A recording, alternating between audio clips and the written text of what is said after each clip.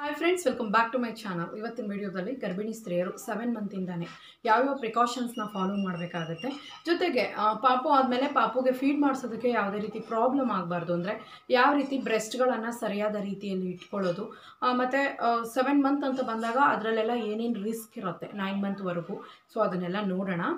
Next ಬಂದು seven month ಅನ್ನೋದು ಬಂದು ಕೆಲವ್ರಿಗೆ ಡಿಲಿವರಿ ಆಗುವಂತಹ ಟೈಮಿನೇ ಅಂದರೆ ಶಾರ್ಟ್ ಸರ್ವಿಕ್ಸ್ ಇರೋರಿಗೆ ಪಾಪು ತುಂಬ ಚಿಕ್ಕದಾಗಿದೆ ಅಂತಂದರೆ ಏನಾದರೂ ಕಾಂಪ್ಲಿಕೇಶನ್ಸ್ ಇತ್ತು ಅಂತಂದರೆ ಖಂಡಿತವಾಗ್ಲೂ ಡಿಲಿವರಿ ಮಾಡಿಬಿಡ್ತಾರೆ. ಸಿ ಸೆಕ್ಷನ್ ಆದರೂ ಆಗ್ಬೋದು, ಇಲ್ಲ ನಿಮಗೆ ಪೇಯ್ನ್ ಬಂತು ಅಂದರೆ ನಾರ್ಮಲ್ ಡೆಲಿವರಿ ಆಗ್ಬೋದು. ಕೆಲವ್ರಿಗೆ ಬಂದು ಪ್ರೀ ಮೆಚೂರ್ ಬೇಬೀಸ್ ಬಂದು ಸೆವೆನ್ ಮಂತಲ್ಲಿ ತುಂಬಾ ಆಗುತ್ತೆ. ಸೊ ನೀವೇನು ಎಲ್ಲರಿಗೂ ಆಗುತ್ತೆ ಅಂತ ಹೆದರ್ಕೊಳಕ್ಕೆ ಹೋಗ್ಬೇಡಿ. ಖಂಡಿತವಾಗ್ಲೂ ಇದು ಎಲ್ಲರಿಗೂ ಆಗೋದಿಲ್ಲ. ಆದರೆ ಹೆಲ್ತ್ ಇಶ್ಯೂಸ್ ಇರೋರಿಗೆ ಆಗೋದು ಸಹ- ಸಹಜ. ಓಕೆನಾ ಈಗ ಬಂದು ಸೆವೆನ್ ಮಂತಲ್ಲಿ ಇರುವಂತಹ ಗರ್ಭಿಣಿ ಸ್ತ್ರೀಯರು ಕಡ್ಡಾಯವಾಗಿ ಮಾಡಬೇಕಾಗಿರೋ ವಿಷಯ ಬಂದು ನೀವು ಫಸ್ಟು ನಿಮ್ಮ ಒಂದು ನಿಪ್ಪಲ್ಸ್ ಮಸಾಜ್ ಮಾಡೋದನ್ನು ಫಸ್ಟ್ ರೂಢಿ ಮಾಡ್ಕೊಳ್ಳಿ. ಇದು ಯಾಕೆ ಇದು ಕಂಪಲ್ಸರಿ ಯಾಕೆ ಮಾಡಬೇಕು ಅಂತಂದರೆ, ನಿಮಗೆ ನಿಪ್ಪಲ್ಸ್ ಎಲ್ಲ ತುಂಬ ತಟ್ಟೆ ಥರ ಇದೆ ಸೊ ಫ್ಲ್ಯಾಟ್ ಆಗಿದೆ ಅಂತಂದರೆ ನೀವು ಹಾಲು ಕುಡಿಸೋದಕ್ಕೆ ತುಂಬ ಕಷ್ಟ ಆಗುತ್ತೆ.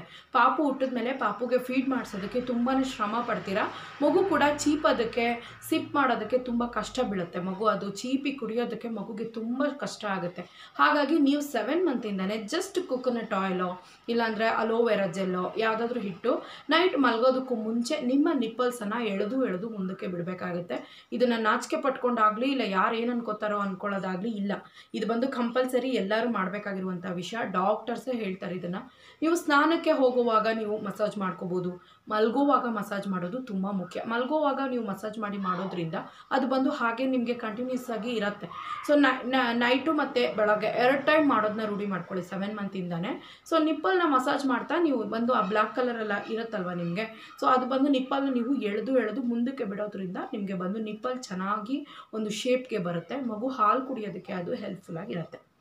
ನೆಕ್ಸ್ಟ್ ಎರಡನೇ ಪಾಯಿಂಟ್ ಏನಂದರೆ ಕೆಲವ್ರಿಗೆ ಬ್ರೆಸ್ಟ್ ಬಂದು ಬೈ ಬರ್ತಿಂದನೇ ತುಂಬ ಚಿಕ್ಕದಾಗಿರುತ್ತೆ.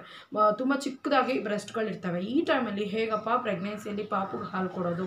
ಬ್ರೆಸ್ಟ್ ತುಂಬ ಕಮ್ಮಿ ಇದೆ ಅಲ್ಲ? ನಮಗೆ ಹಾಲು ಕಟ್ಟತ್ತೋ ಇಲ್ವೋ ಅಂತೆಲ್ಲ ಹೆದರಬೇಡಿ. ಖಂಡಿತವಾಗ್ಲೂ ಆಗುತ್ತೆ.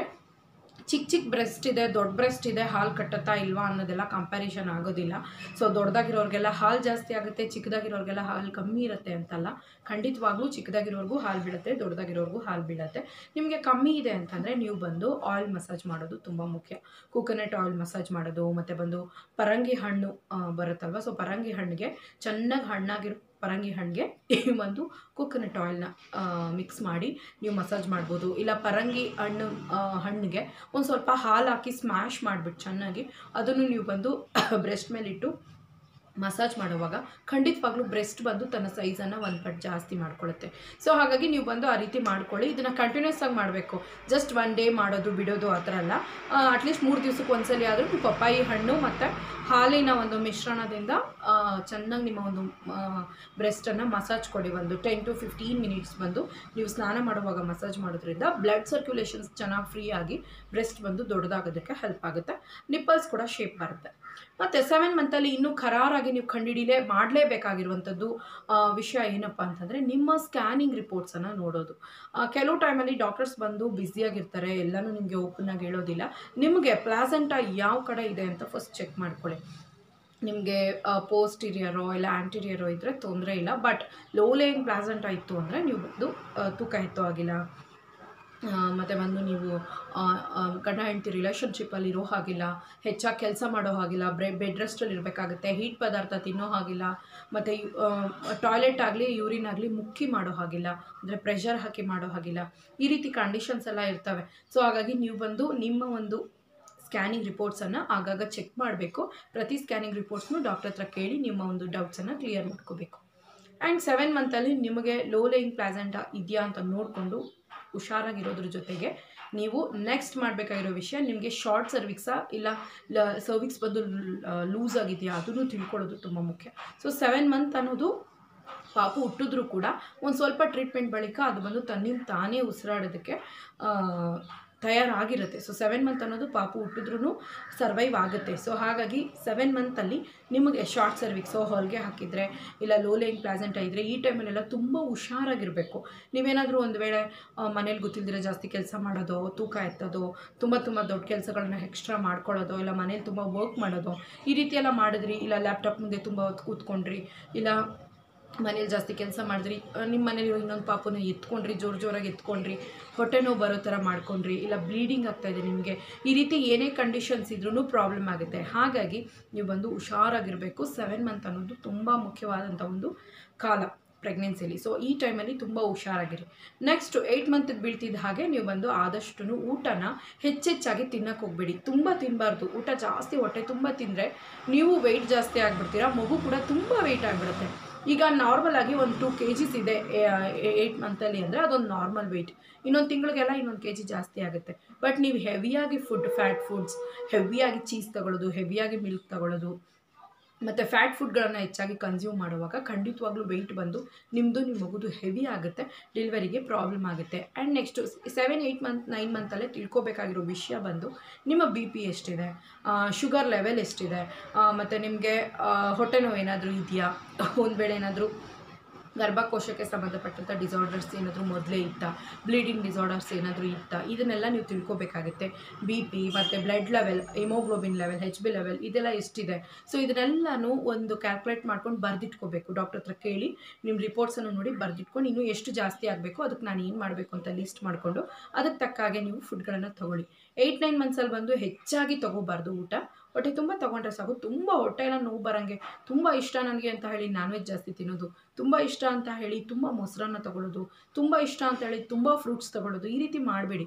ಏನಿದ್ರು ಲಿಮಿಟಾಗಿರಲಿ ಯಾಕಂದರೆ ತುಂಬ ತಗೊಳ್ಳುವಾಗ ವೆಯ್ಟ್ ಗ್ಯಾರಂಟಿ ಗೈನ್ ಆಗುತ್ತೆ.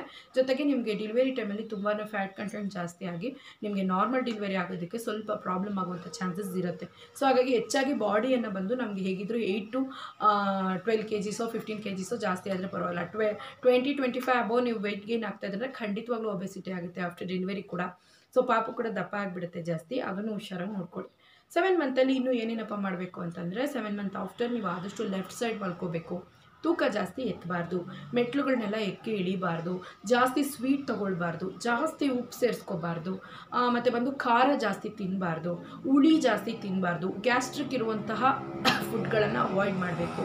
ಈ ವಾಯುವಿರುವಂಥ ಫುಡ್ ಆಲೂಗಡ್ಡೆ, ಈ ಗೆಣಸು ಅವರೆಕಾಯಿ, ಇದೆಲ್ಲ ಬಂದು ವಾಯು ಕೊಡುತ್ತೆ. ಮತ್ತು ಕಂಪಲ್ಸರಿ ಅವಾಯ್ಡ್ ಮಾಡಬೇಕಾಗಿರೋ ಫುಡ್ ಬಂದು ಜಾಕ್ ಫ್ರೂಟ್ ಸೊ ನೀವು ಹಲ್ಸಿನಣ್ಣು ತೊಗೊಂಡ್ರೆ ಅಂದರೆ ಖಂಡಿತವಾಗ್ಲೂ ನಿಮಗೆ ಬ್ಲಡ್ ಕ್ಲಾಟ್ ಆಗುತ್ತೆ. ಕಾಲುಗಳು, ಕೈಗಳು ಬಂದು ಟಕ್ ಟಕ್ ಅಂತ ಹಿಡ್ಕೊಳ್ತವೆ. And next seven month after ಇನ್ನೇನು ಮಾಡಬೇಕು? ಬೆನ್ನು ಖಂಡಿತವಾಗ್ಲೂ ಬರುತ್ತೆ, ಸೊಂಟ ನೋವು ಜಾಸ್ತಿ ಬರುತ್ತೆ, ಕಾಲು ನೋವು ಜಾಸ್ತಿ ಬರುತ್ತೆ. ಕಾರಣ, ಮಗುವಿನ ವೆಯ್ಟ್ ಗೈನ್ ಆಗುತ್ತೆ, ಜೊತೆಗೆ ನಿಮ್ಮ ನಿಮ್ಮ ವೆಯ್ಟ್ ಗೈನ್ ಜೊತೆಗೆ ನಿಮ್ಮ ಸ್ಪೈನಲ್ ಕಾರ್ಡ್ ನಿಮ್ಮ ಪಾಪುವನ್ನು ಹೊರೋದ್ರಿಂದ ನಿಮ್ಮ ಸ್ಪೈನಲ್ ಕಾರ್ಡ್ ಪೇಯ್ನ್ ಆಗುತ್ತೆ. ಸೊ ಹಾಗಾಗಿ ಆದಷ್ಟು ಎಣ್ಣೆ ಮಸಾಜ್ ಮಾಡಿ, ಸ್ನಾನ ಮಾಡ್ಕೊಳ್ಳಿ. ಜೊತೆಗೆ, ಆದಷ್ಟು ನೈಂಟಿ ಡಿಗ್ರಿಯಲ್ಲಿ ಕೂತ್ಕೊಳ್ಳಿ, ಚ ಚಾಪೆ ಹಾಕ್ಕೊಂಡು ಕಾಲು ಮಡ್ಚ್ಕೊಂಡು ಕೂತ್ಕೊಳ್ಳೋದನ್ನ ರೂಢಿ ಮಾಡ್ಕೊಳ್ಳಿ. ಆದಷ್ಟು ಸೋಫಾ, ಮಂಚ ಕೂತ್ಕೊಳ್ಳೋದನ್ನ ಆದಷ್ಟು ಅವಾಯ್ಡ್ ಮಾಡಿ. ಆ್ಯಂಡ್ ನೆಕ್ಸ್ಟ್ ಬಂದು ನೀವು ಈ ಟೈಮಲ್ಲಿ ಇನ್ನೂ ಏನು ಹುಷಾರಾಗಿರಬೇಕು ಅಂದರೆ ಈ ಟೈಮಲ್ಲಿ ನಿಮಗೆ ಬ್ಲಡ್ ಬಂದು ಸಾಮಾನ್ಯವಾಗಿ ಕಮ್ಮಿ ಆಗುತ್ತೆ.